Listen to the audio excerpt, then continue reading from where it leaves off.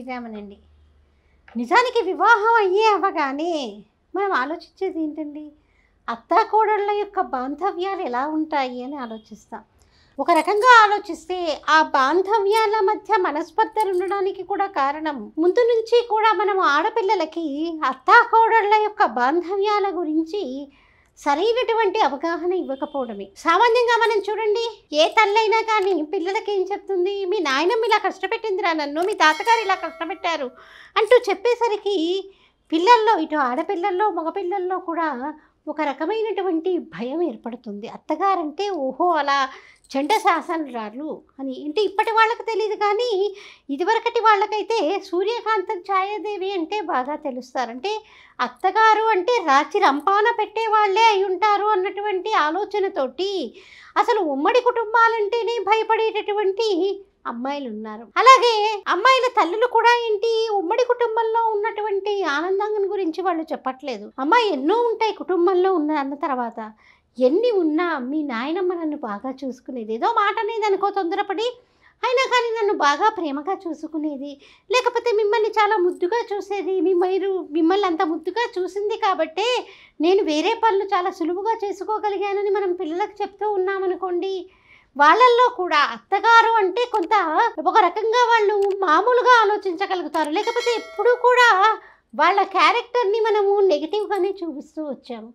సినిమాల్లో ఉండొచ్చు సీరియల్స్లో ఉండొచ్చు ఎక్కడ చూసినా కూడా వారి యొక్క అత్తగారు అనగానే ఆ యొక్క వ్యక్తిత్వాన్ని మనం ఏం చేస్తున్నాము?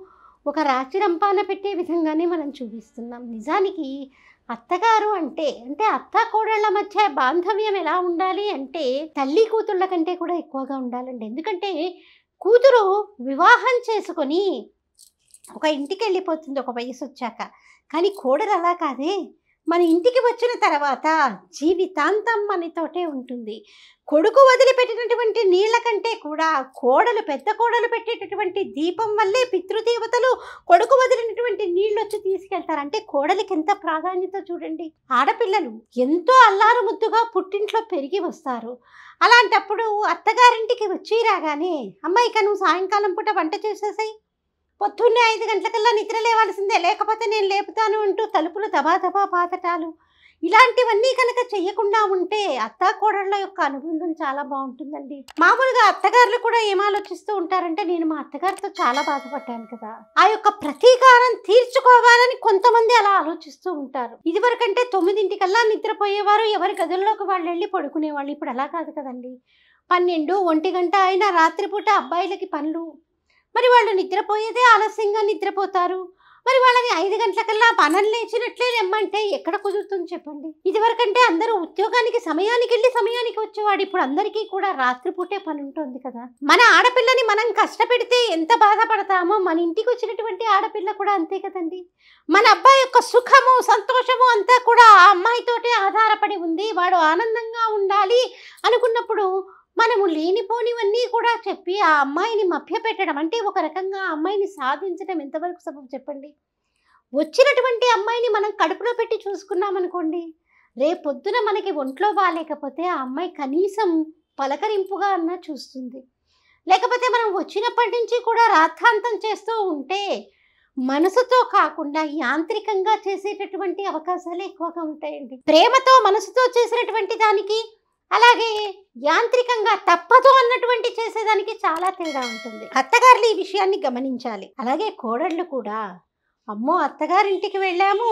ఆ పెద్ద ఆవిడ కదా ఆవిడే పని చేసుకుంటూ వెళ్ళిపోతుంది. నాకేం పని? నేను దర్జాగా రూమ్లో కూర్చుంటానని కాదు. మన అమ్మ కష్టపడుతుంటే మనకి ఎంత బాధగా ఉంటుందో అత్తగారు కూడా అంతే అనుకోవాలి. నువ్వు ఇంటి పేరు మార్చుకున్నావు. నీ గోత్రాన్ని మార్చుకున్నావు. ఈ ఇల్లు ఉద్ధరించడం కోసం వచ్చావు. అత్తగారి తర్వాత పాత్ర నీదే అన్నటువంటి విషయాన్ని నువ్వు గ్రహించి కనుక ఆ ఇంట్లో మసులుకోగలిగితే తలలో నాలుకలా ఆ అత్తగారి వెంట వెంటే తిరుగుతూ ఏ పని చేయాలో అడుగుతూ ఉంటే ఆవిడికి కూడా చాలా నీ మనసులో ఆవిడ మనసులో కూడా ఎక్కడైనా నీ గురించి చెడుగా ఉన్నా నువ్వు అలా వెనకాల తిరుగుతూ తిరుగుతూ ప్రేమగా మాట్లాడటం వల్ల ఆ యొక్క చెడు ఆలోచన అన్నది తొలగిపోయి కూతురి కంటే నిన్ను ప్రేమగా చూడగలుగుతుంది. ఇద్దరిలో కూడా ఈ సర్దుకుపోయేటటువంటి గుణం ఉండాలమ్మా. కౌసల్యాదేవి అరణ్యవాసానికి వెళ్ళేటప్పుడు కౌసల్య ఉండొచ్చు దశరథ మహారాజు గారు ఉండొచ్చు ఆ రామచంద్రమూర్తి అరణ్యవాసానికి వెళ్ళేటప్పుడు రామచంద్రమూర్తి అరణ్యవాసానికి వెళ్తున్న దానికంటే సీతమ్మ తల్లి అతనితో వెళ్ళడాన్ని తట్టుకోలేకపోయారు. అంటే కోడలి మీద ఎంత ప్రేమ ఉండాలో మనం రామాయణం చూసి నేర్చుకోవాలి. కోడలికి ఎంత ప్రాధాన్యత ఇవ్వాలో కూడా మనం మనకి మహాభారతం చెప్తుందండి.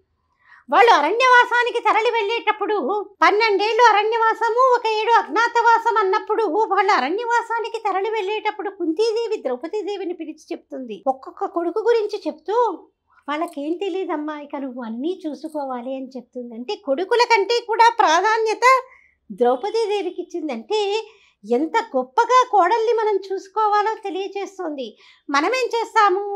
చాటు చాటుగా మాట్లాడుకోవడాలు ఆ అమ్మాయికి తెలిస్తే ఏమైపోతుందో ఇలాంటివి చేయటం వల్ల ఆ అమ్మాయికి నేను ఈ కుటుంబంలో మనిషిని అన్నటువంటి ఆలోచన కలగాలి కదా. ఈ కుటుంబంలో మనిషి అంటే ప్రతి విషయము కూడా అమ్మాయికి కూడా తెలియాలండి. ఆ అమ్మాయి ఏం పరాయి వ్యక్తి కాదు. వివాహమై మన ఇంటికి వచ్చింది అంటే ఆ అమ్మాయి ఇంట్లో కూడా ఒక సభ్యురాలు. కాబట్టి ప్రతి విషయము ఆ అమ్మాయికి తెలియాల్సిందే. అలా చెప్పి చేయాల్సిందే. అంతేకాని మనం గుట్టుగా చప్పుడు కాకుండా చేయటం వల్ల కూడా మన అనుకున్నటువంటి భావన కోడలి కూడా కూడా కలగకపోవచ్చు. ఇద్దరిలో కూడా ఇలాంటి పరివర్తన ఉంటే తప్పకుండా అత్త కోడళ్ళ అనుబంధం కూడా తల్లి కూతుళ్ళలాగే ఉంటుందండి. కొంతమంది ఇళ్ళలో చూడండి అత్తగారికి కోడలు కనిపించకపోతే ఆత్రం. అలాగే కోడలికి కూడా అత్తగారి కనిపించకపోతే అయ్యో నిన్నంతా చూడలేదండి అంటూ ఆ యొక్క ప్రేమపూరితమైనటువంటి పదాలను వింటూ ఉంటాం. అలాంటి కుటుంబాలు చూస్తే మనకి నిజంగా చాలా ఆనందంగా కలుగుతుందండి. వీళ్ళ అత్త కోడళ్ళ తల్లి కూతుళ్ళ అన్నటువంటి ఆలోచన కూడా మనకి కలిగి తీరుతుంది. అత్తా కోడళ్ళంటే ఏదో రాచి రంపాన పెట్టటాలు ఈ సాధించటాలు అనే కాకుండా ఆ అనుబంధాన్ని మనం కనుక ఇలా అన్వయించుకున్నామనుకోండి ఇక నేను ఇక్కడికి వచ్చాను నేను ఉద్ధరించ ఈ కుటుంబాన్ని ఉద్ధరించడం కోసం వచ్చాను నేను జీవితాంతం ఇక్కడే ఉండాలి. మా అమ్మ ఒక మాట అంటే నాకు కోపం రాదు కదా. మరి మా అత్తగారంటే ఒక మాట నేను ఎందుకు కోపం తెచ్చుకోవాలి అని కోడలు అనుకోవాలి? అలాగే అత్తగారు కూడా మా అమ్మ ఇలాంటి తప్పు చేస్తే నేను ఎలా కడుపులో పెట్టుకుంటాను? అనవసరంగా దాన్ని ఒక మాట అనడం చిన్నపిల్ల కదా అదే తెలుసుకుంటుందిలే పోను పోను అంటూ చూసి చూడనట్టు కొన్ని విషయాలు వదిలేశారనుకోండి. జీవితంలో వాళ్ళే తెలుసుకుని అయ్యో మా అత్తగారు ఎంత మంచివారు? ఆ రోజు నేను ఈ తప్పు చేసినా నాకు ఈ పని చెప్పలేదే ఈ విషయం చెప్పలేదే అని వాళ్ళని వాళ్ళు సరిదిద్దుకొని అత్తగారి మీద పరిపూర్ణమైనటువంటి ప్రేమ వాళ్ళకి ఏర్పడే అవకాశం ఉంటుంది. ఇప్పుడు మనం ఏం చేస్తున్నాము? ఈ సీరియళ్ళు లేకపోతే ఇంకా వచ్చేటటువంటి సినిమాలు చూస్తూ అత్తాకోడళ్ళ అనుబంధము అనగానే టామ్ అండ్ జెర్రీ ఆటే అనుకుంటున్నాం. ఎందుకంటే ఇప్పుడు టామ్ అండ్ జెర్రీ అంటే అందరికీ తెలుస్తుంది. అవి రెండు ఎప్పుడు కొట్లాడుకోవడం తప్పితే స్నేహపూరితమైనటువంటి వాతావరణంలో ఎప్పుడూ ఆ రెండు ఉండవు.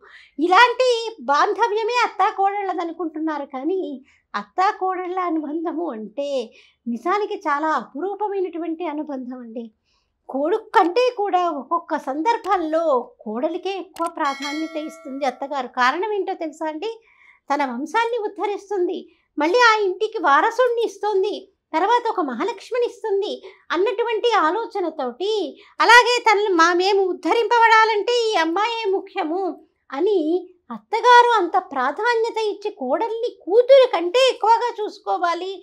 కోడళ్ళు కూడా అత్తగారిని అత్తగారిలా కాకుండా తల్లి కంటే ఎక్కువగా ప్రేమించగలగాలి. అంటే మనకి శాస్త్రంలో ఉన్నటువంటి విషయాలని మనం తెలుసుకుంటూ ఉన్నామనుకోండి అప్పుడు మనకి వాళ్ళు ఎలా ఉన్నారు మనం ఎలా మసులుకోవాలి అన్నటువంటి విషయం మనకి అవగతమయ్యి కుటుంబంలో శాంతి నివాసంలా ఉండడానికి అత్తాకోడళ్ళ అనుబంధం చాలా ఉపయోగపడుతుందండి.